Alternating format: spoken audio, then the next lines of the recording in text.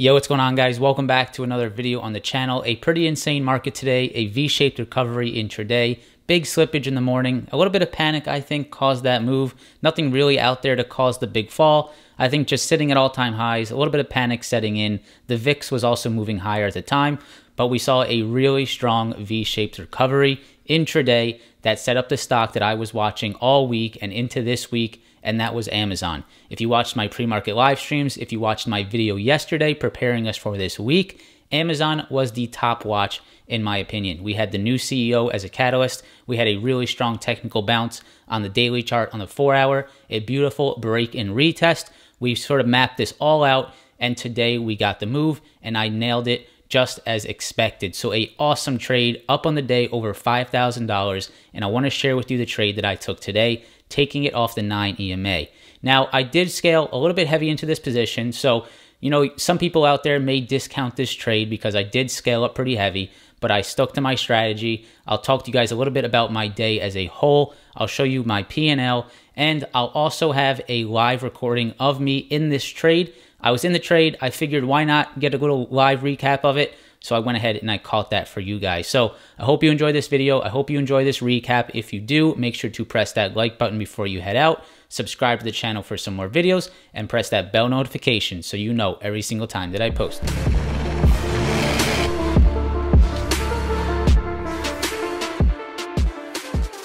All right, guys, so we got the Amazon daily chart pulled up, and I first want to quickly break down, if you didn't see my videos, why I was watching Amazon today. So the first reason was we had this breakout of these previous resistance levels right here around 34, 32. So I was watching that level really, really closely. So we had this breakout. We had previous resistance right here. We had some resistance right here. And when we got the breakout, we had a perfect break and retest of this 3430 level.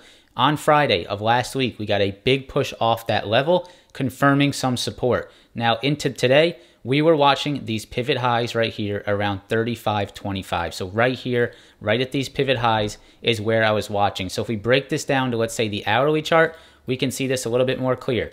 So right there, at the at this line that you guys see, we have this resistance from Tuesday and Wednesday of last week. Friday, we pushed into it, and today, as soon as we broke over that level, we saw a massive move higher. And this was the move that we were waiting for. And it was a great move. And congratulations to anyone that caught this. A really nice push higher.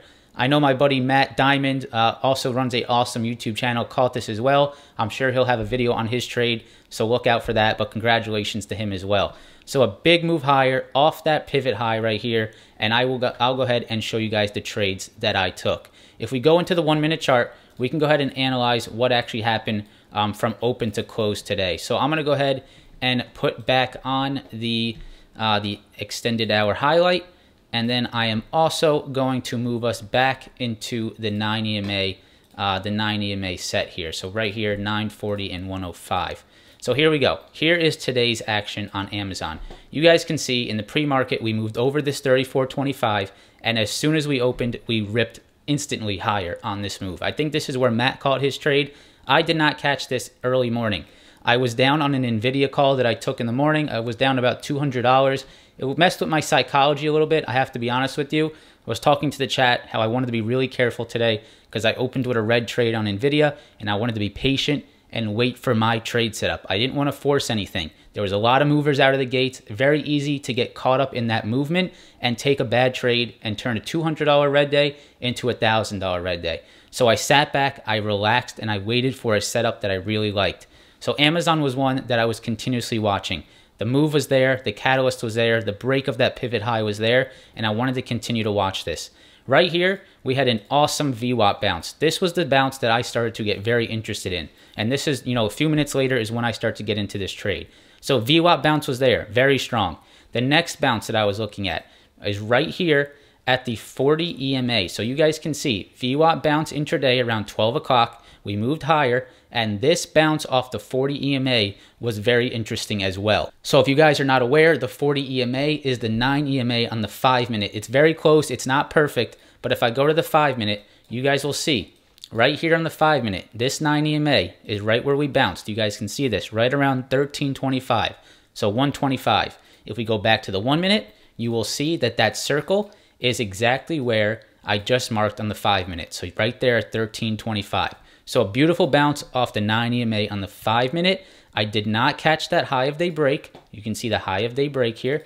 We got that 9 EMA bounce on the five minute, a high of day breakout, a nice little break and retest. You can see right here, break and retest of these of this 9 EMA, and we continued past those highs. Now this is where I got into the trade.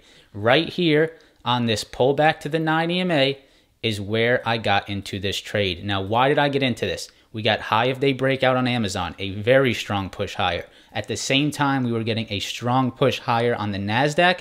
And those two things together, NASDAQ strength and Amazon breaking out of high of day, is literally the perfect recipe for more upside. So if I go ahead and pull up my trades, we'll go ahead and analyze this. And then after that, I will sort of give you a quick recording of the live trade that I have for you guys. All right, guys, so here are my trades right here on Amazon. So I went ahead and I bought three 3650 calls on Amazon. Now, the reason I took these 3650s slightly in the money was because the interest in them was high and the spread was pretty, uh, wasn't that wide.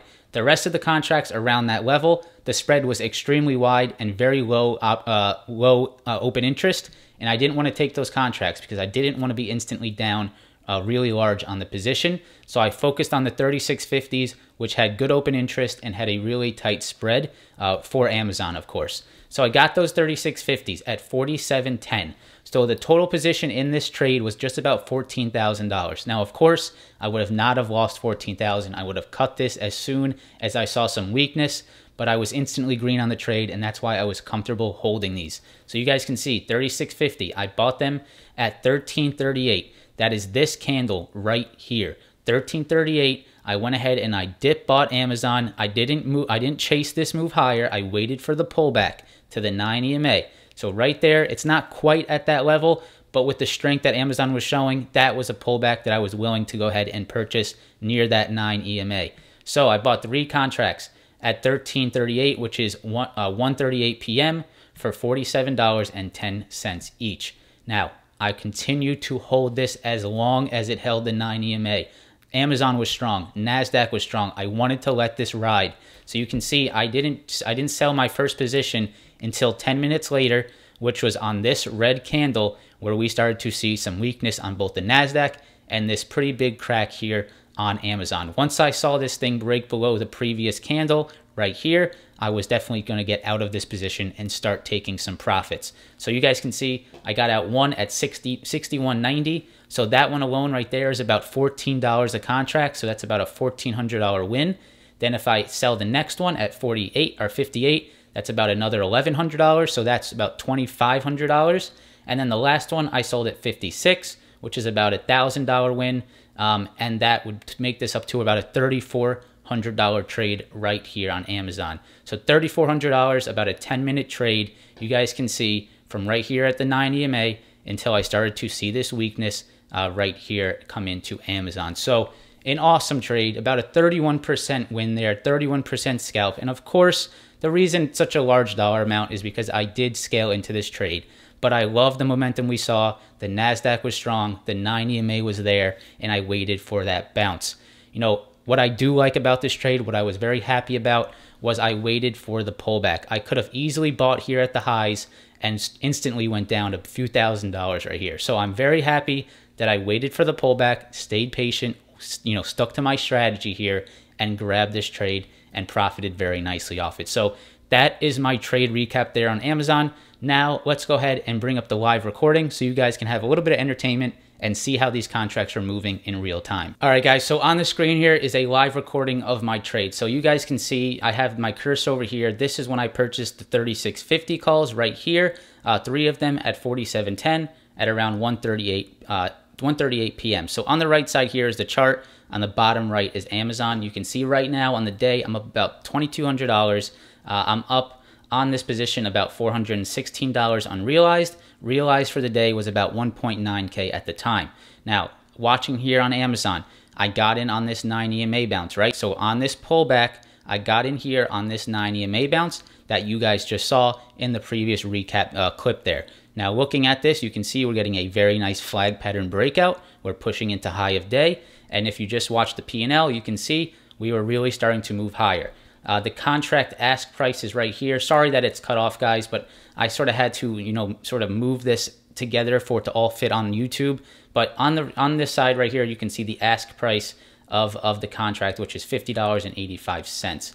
Um, up here, the at the the time and sales and the and the level two are not correct. Those are on Nvidia right now. But this order entry screen, you can see the ask price was fifty dollars and fifty cents. I am in at forty seven ten. So right side is the chart. I'll go ahead and fast forward this a little bit. I don't think we need to sit through all this, but I'm going to go ahead and fast forward. You can see the right side. There's new highs on Amazon. You can watch the P&L if you'd like. Moving, moving over, moving over. We're continuing to hold 9 EMA. Very nice push higher. No concerns right now in the trade. We are nowhere near the 9 EMA. I'm very happy with the profits that I'm bringing in. I uh, just want to continue to hold this. As long as it holds the 9, I'm continuing to hold this position. So we're going to continue to push. You can see the P&L going up, 5,100, 5,300. And at a peak, I was almost up 7,000 today. So I will show you how I did get sort of caught in that pullback and gave up a little bit of profit. I didn't sell at the very top. Uh, so moving this forward, you can see Amazon still pushing higher, up 6,100 on the day, still moving, still moving, 63, 6,600. And we almost hit right here. You guys can see that big push higher on Amazon up to almost 3680 and we hit $6,900 P&L uh, at its peak. But right here is when we start to get that rejection and you can see how quickly uh, this thing started to move lower. So quickly, you're going to see me sell one contract. If you watch this uh, this order entry screen, uh, just keep an eye on that. You may see me start to sell one of my contracts here momentarily. Uh, so moving this a little bit more forward uh, so that we can catch this. So right there, you can see me moving one contract and I just sold one. See, coming in here, 61.90, just sold a contract, and I did that because I started to see this weakness. Now I'm about to sell one more coming in here relatively quickly. I still see the weakness. I don't see it very strong at the 9 EMA, and you guys will see that I start to scale out of this position. So right here, momentarily, you're going to see another contract get sold in this order entry right there, 58.50. I'm not seeing it very strong at the 9 EMA, and I'm starting to just want to lock these profits in. So you can see my position is one, I have one left, and right there, I sell out of my last position for $59.90 per contract, locking in about $5,500 on the day. Um, so really awesome. Just an awesome trade. Right there, you can see it goes totally realized, 5.5K on the day. Pullback on Amazon. Very happy with the trade. Hopefully you guys enjoyed this live recap and the recap of this trade today on Amazon. So guys, that's just about all that I have for you in today's video. Hopefully you enjoy that trade recap, just looking for those 9 EMA bounces on Amazon like I do with every other stock. Amazon was a monster today, and by no means did I catch the whole move, but you can see just staying patient, waiting for your setup can still yield you a great return. Not chasing these moves, looking for the setup that you believe in, that you trust, that your strategy aligns with. My strategy aligns with a pullback to the 9 that's what I waited for, and I grabbed it and I profited off of it. Congratulations, anyone out there that grabbed more than me on this trade, even less than me on this trade. It's really not about the P&L at the end of the day. It's about the strategy. Can you repeat the strategy? Can you do this consistently into the future? That is what's most important to me. So hopefully you guys enjoyed the video. If you did, press that like button, subscribe to the channel for some more videos, press that bell notification so you know every single time that I post, and don't forget, you can come hang out in the live stream every single morning from 8 a.m. until around 8:45 a.m. in the pre-market and prepare for your day. With that said, I hope you guys have a great rest of your day. Thank you for watching, and I hope to see you in the next one. Peace.